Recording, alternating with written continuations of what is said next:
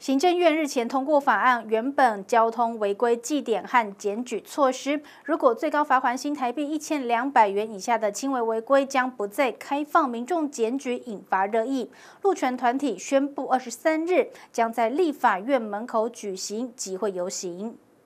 去年实施的交通违规记点及民众检举措施上路后，虽有成效改善道路交通安全、降低交通死亡人数，但因检举交通违规案量暴增，且严重影响职业驾驶人工作权，加上记点制度配套尚未完善，行政院日前通过法案，未来将取消民众检举新台币一千两百元以下的轻微违规，引发民间团体不满。除了痛批政府交通政策开倒退车，更宣布将会发起全台快闪活动，二十三日将会在立法院门口进行请愿游行，希望退回。法案保障路权等五大诉求，在上周的突袭会议中，我们坚决反对，但是却还是一意孤行，要将法案在院会通过，去送交立法院。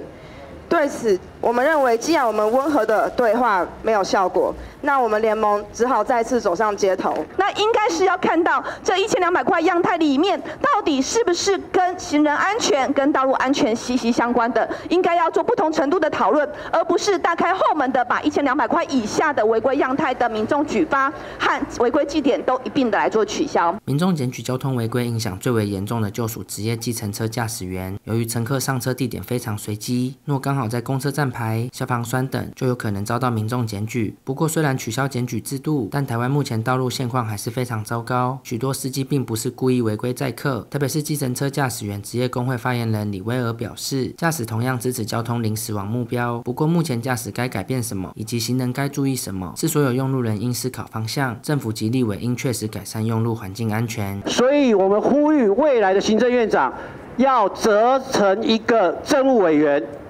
专责成立一个跨部会的协商小组，由这个政务委员负责当召集人，